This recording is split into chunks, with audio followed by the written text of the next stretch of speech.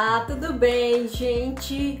Último dia do Veda. Eu tô triste. Eu tô assim, eu tô feliz porque foi ótimo esse Veda, foi muito, muito, muito bom ficar com vocês todos os dias de abril. Me ajudou muito a encarar essa quarentena de uma forma mais leve, mas eu tô triste que tá acabando. Sério mesmo, tá, tá um, um vazio já aqui dentro, sabe? Mas assim, não, nem vamos falar muito não, porque eu sou chorona mesmo. E aí, pra evitar choro e estragar essa maquiagem toda linda que eu fiz aqui pra ficar com vocês, vamos começar logo esse vídeo.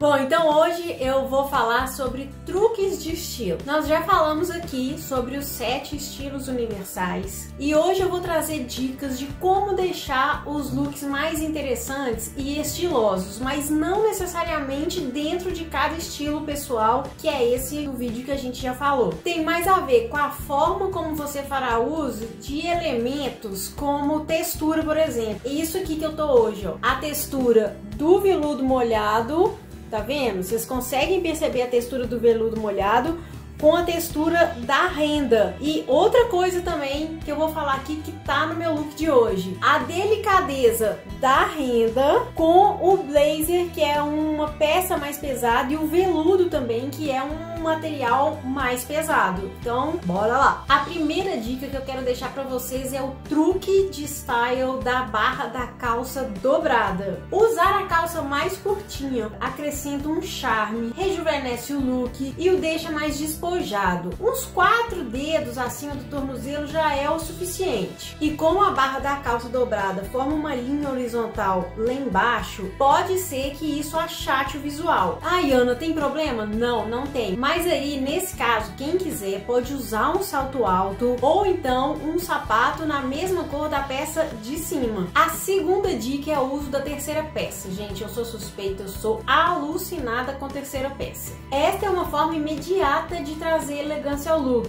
E se a peça ainda for alongada, vai deixar a silhueta mais longilínea, como eu já mencionei em outro vídeo aqui do Veda. E só alertando, gente, essa terceira peça não precisa ser necessariamente um colete ou um blazer ou um cardigan. Pode ser também um cinto ou um colar ou um lenço bem bacanudo. Ah, gente, rola também de misturar os truques. Por exemplo, o truque de estilo da barra da calça dobrada com um look que vai ter uma terceira peça com blazer, por exemplo. A terceira dica é uma que eu gosto muito e eu tô sempre fazendo uso dela, que é montar looks high-low. E o que isso? Basicamente é quando a gente combina peças opostas no mesmo look. Por exemplo, misturando peças caras com outras baratas, couro com renda, peças mais femininas com outras mais masculinas, moletom com jaqueta de couro, jeans com cetim de seda, ou também peças esportivas com outras de estilo diferente, metalizado com básico,